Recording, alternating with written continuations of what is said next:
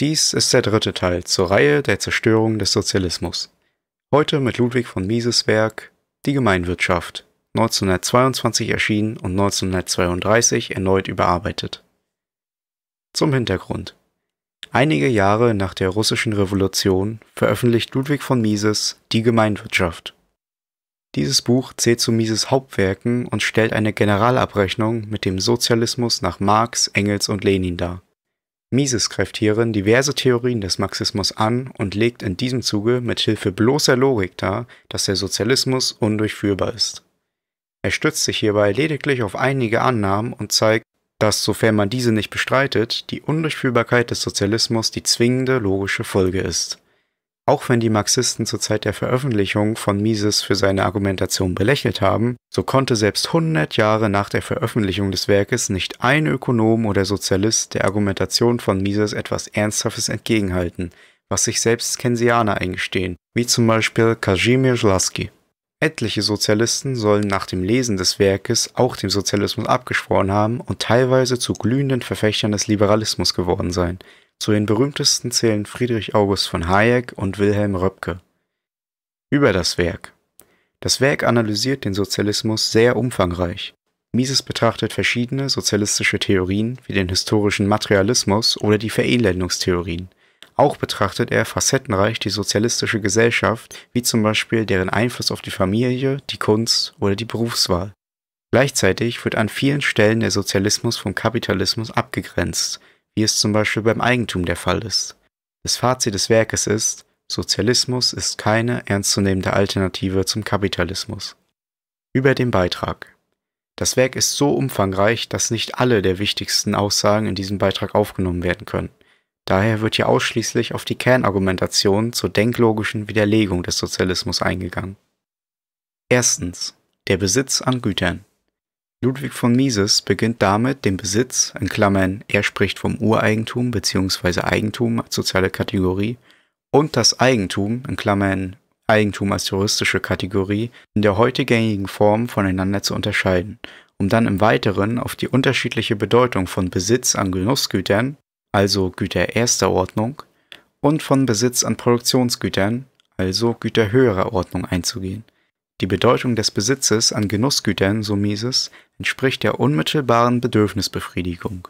Besitzer eines Genussgutes ist derjenige, der damit seine Bedürfnisse befriedigt, wodurch der Besitzer das Interesse an der Verwendung eines Genussguts hat.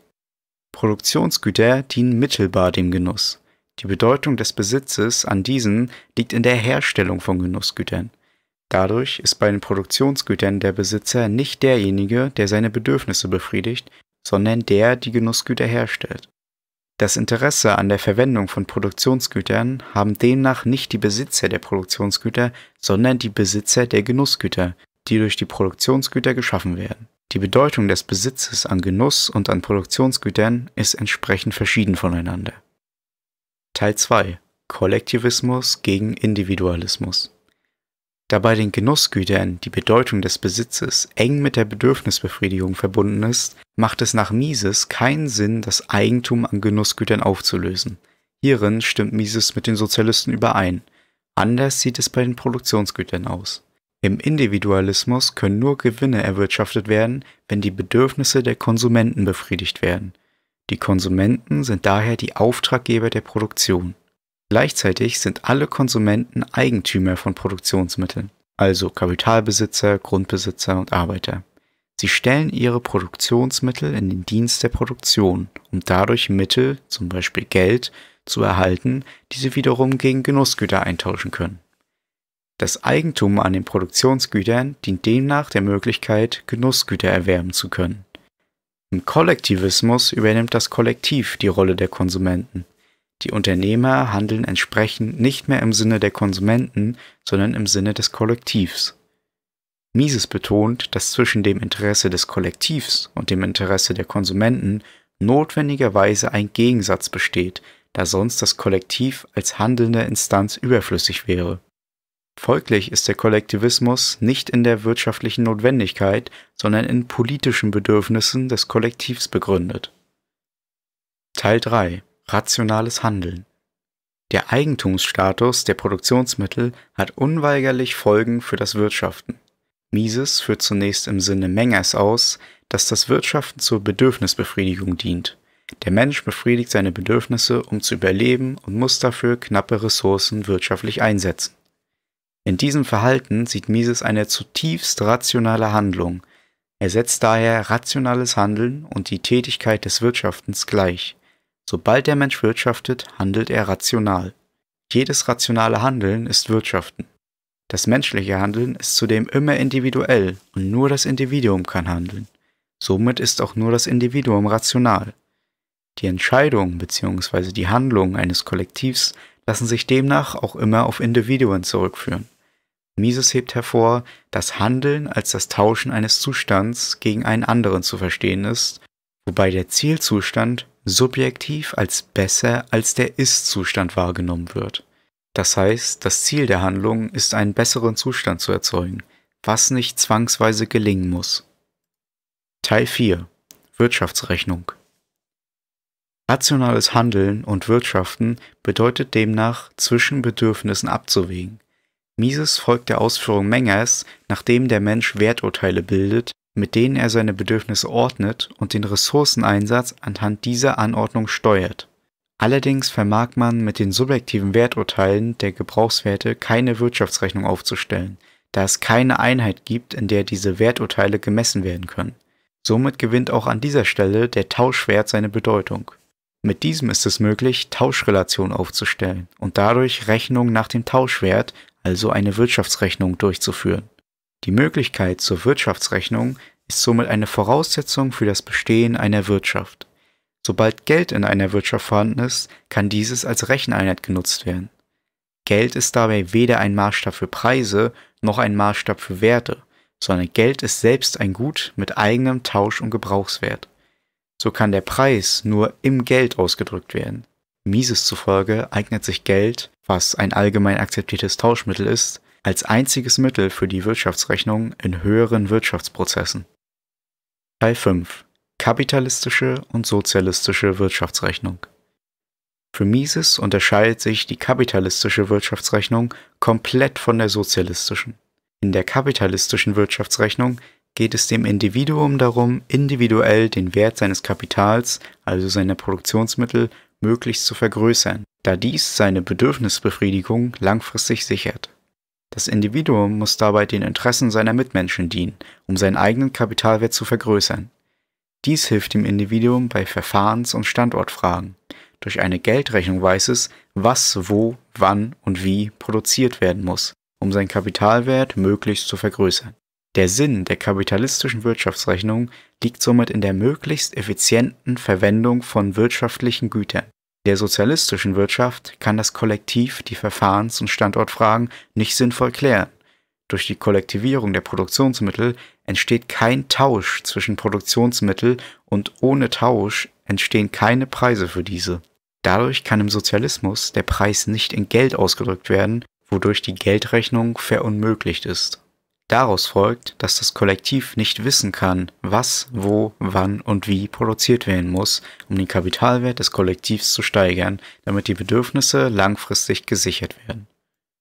Sechstens. Die Undurchführbarkeit des Sozialismus. Das Fehlen der Wirtschaftsrechnung macht den Sozialismus undurchführbar, wie Ludwig von Mises denklogisch hergeleitet hat.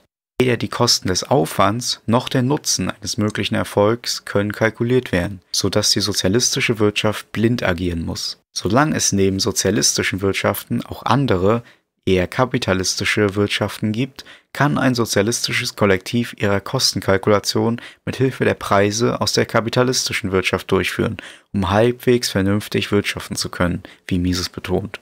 Sobald allerdings auch diese wegfallen, ist es nicht mehr möglich, irgendeine Wirtschaftsrechnung im Sozialismus anzufertigen. Das heißt, dass die Eigenschaften einzelner Menschen vollkommen für das Gelingen oder Scheitern des Sozialismus egal sind. Sozialismus gelingt auch dann nicht, wenn die richtigen Personen das Kollektiv steuern würden.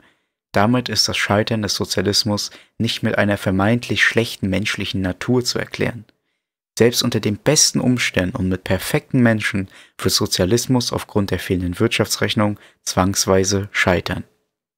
Siebtens. Die Lösung des Problems.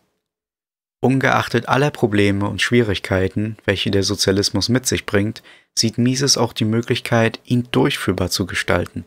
Dafür schlägt Mises vor, im sozialistischen Gemeinwesen Abteilungen zu bilden, denen die Produktion für bestimmte Geschäftszweige zugewiesen werden. Den Abteilungen wird dann ein Abteilungsleiter vorgestellt. Dieser muss die Abteilung in voller Verantwortung führen können. Das heißt, dass er für Versagen verantwortlich gemacht und eventuell ausgetauscht wird, aber bei guten Wirtschaften die Gewinne für sich behalten darf. Damit der Abteilungsleiter auch die Chance hat, Gewinne zu erwirtschaften, muss er die Entscheidung treffen dürfen, welche Werkzeuge, Güter und Arbeitskräfte er in seiner Abteilung einsetzen will und wie viel Geld er dafür ausgeben möchte. Auch muss er entscheiden können, ob seine Abteilung vergrößert, verkleinert oder umgestaltet wird. Ohne diese Entscheidungskompetenzen hätte er nur eine Scheinverwaltung für seine Abteilung.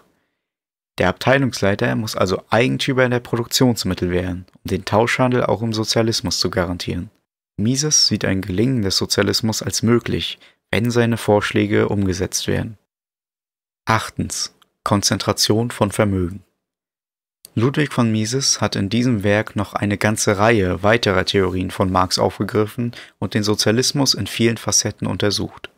Zwei davon sind die Monopoltheorie und die Verelendungstheorie, die sich beide nach Marx in der Konzentration von Vermögen zeigen.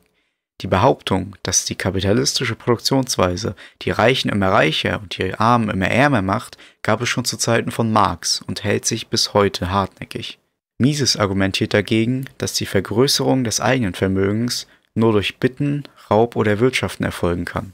Bitten und Rauben sind Methoden, die beide außerhalb von Wirtschaftsprozessen liegen und somit nicht die kapitalistische Produktionsweise betreffen. Raub ist zudem eine Verletzung der Eigentumsrechte und wird im Kapitalismus sanktioniert. So bleibt Marx Theorien nur das Wirtschaften.